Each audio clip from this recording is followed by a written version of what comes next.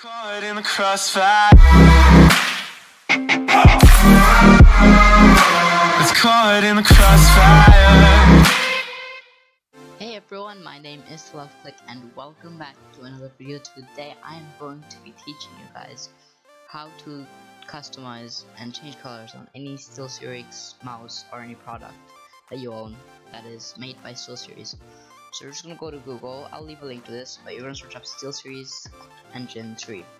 That's the newest one, it'll update the site, I'll leave you a link to the site where you can get this.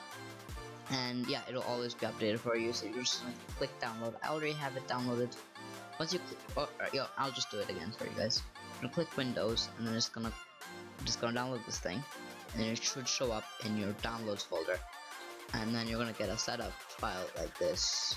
So then you're gonna right click the you're gonna right click the setup file or just double click it. Or right click it and open or just double click either one works. And that's gonna install the app itself. Um it's pretty simple. It's like it's the same as every other installation thing. It'll have a section where you have to pick your language and stuff and it shouldn't take too long. It should take about a minute max. Once you do that you're gonna get something called a steel series engine 3 desktop app. So I'm gonna open that and this you open that this is what's gonna come up. And this this thing will pop up you're just gonna close that. And you're gonna go to the section where it says my gear because that's where your thing will pop up. Now often eh, sometimes this might glitch sometimes it might not pop up. If it doesn't pop up then you should um, take the USB off and then put it back in. See if that helps but yeah, it should be there, and then once you click that, you're gonna have this little thing open. And here you can mess up, mess around with a bunch of stuff. You can look at it from different views. You can change the CPI. You can mess with all of this. But we, but what I want to show you guys in this video is that you can go to this LED section, and you can change your mouse color to anything you want here. Now in real life, it's changed right now. It's, I'm changing this as I change it, it changes in real life, but you guys can't see that. But yeah, it is changing. Currently it's purple in real life.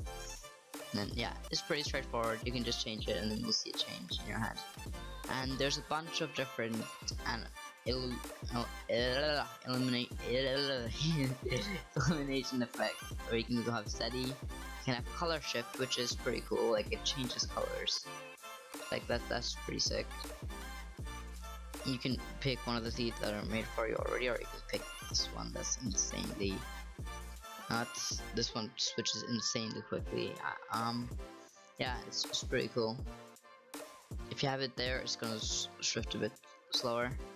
But yeah this is this is pretty cool to play around with. So if you guys were curious about how to change your change the color of your mouse that's how you do it I hope this video was helpful for you guys if this video did help anyone, please leave a like, and I will see you guys in the next video.